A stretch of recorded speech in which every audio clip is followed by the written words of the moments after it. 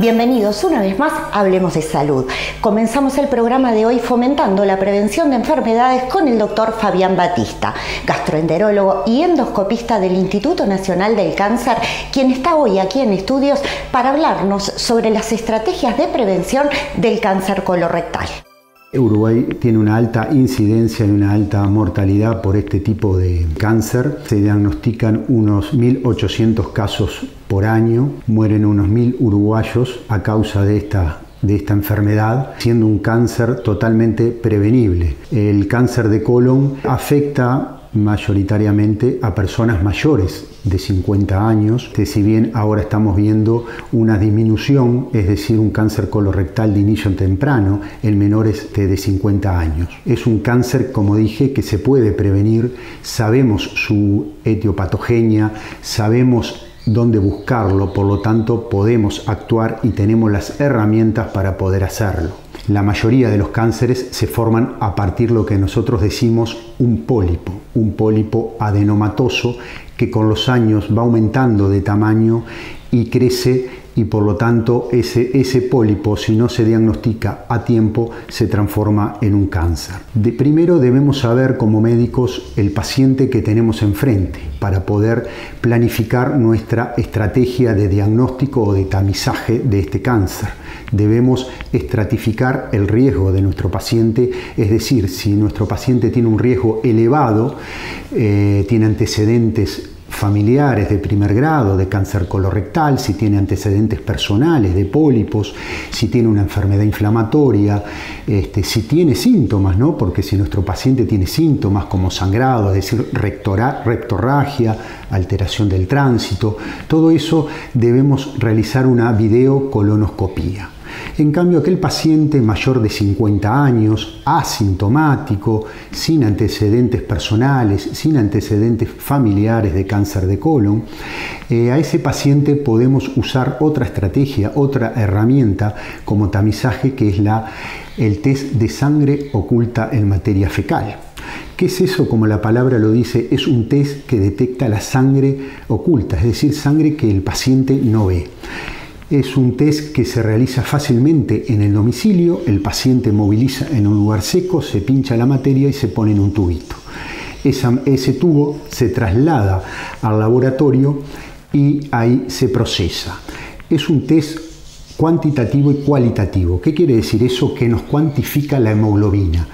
En Uruguay eh, tenemos las guías, tenemos pautas donde decimos que un test mayor de 100 nanogramos de hemoglobina por mililitro es positivo. Todos aquellos pacientes con un test mayor de 100 debemos realizarle una videocolonoscopía. Por lo tanto, como vemos, lo primero es estratificar el riesgo de nuestro paciente y luego elegir la herramienta que vamos a utilizar. En el, caso del Instituto Nacional del Cáncer, donde trabajo, estamos haciendo mucho hincapié, estamos en cuanto a la prevención de diferentes cánceres, pero fundamentalmente este. Eh, realizamos las videocolonoscopías, realizamos el test de sangre oculta y también estamos realizando eh, salidas al interior del país en cuanto a prevención, hablar con la, con la población, eh, el paseo interactivo con el colon gigante, charlas a los equipos de salud para poder este, tener una idea todos uniforme, unificar los criterios y así todos poder realizar lo mismo. Por lo tanto, eh, debo decir que el Instituto del Cáncer en este momento estamos más que nada enfocados también en la prevención. No es que uno vaya al instituto simplemente cuando ya tenga un cáncer o cuando ya no haya más nada para hacer, sino que se realizan y se tratan pacientes complejos, con cánceres complejos, pero estamos más que nada también en diferentes áreas de prevención. Por lo tanto, es importante de que eso también la población lo sepa y si lo mandan al Instituto del Cáncer, eh, no es porque ya no hay más nada para hacer, sino que eh, estamos, este, los médicos también estamos trabajando en esto justamente para que no se llegue a una etapa avanzada del cáncer. Estamos ahora trabajando también en una policlínica específica de prevención del cáncer y seguimiento de pacientes con pólipos colorectales, por lo tanto eso va a ser muy importante y va a ser algo de, referencia este, donde los médicos, los colegas van a poder referenciar a esos pacientes a nuestra, a nuestra policlínica.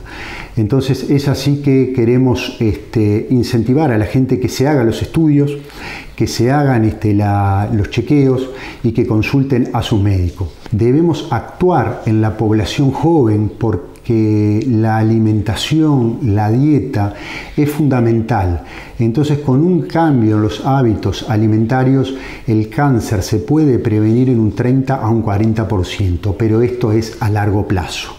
Por lo tanto, debemos actuar en la población vulnerable, en la población que podemos cambiar. Los invitamos a acercarse al Instituto Nacional del Cáncer eh, para, si su médico así lo considera, ahí lo estaremos esperando para poder hacer un chequeo, para poder este, evaluar el riesgo y así poder prevenir este tipo de lesiones, de enfermedades que es totalmente prevenible.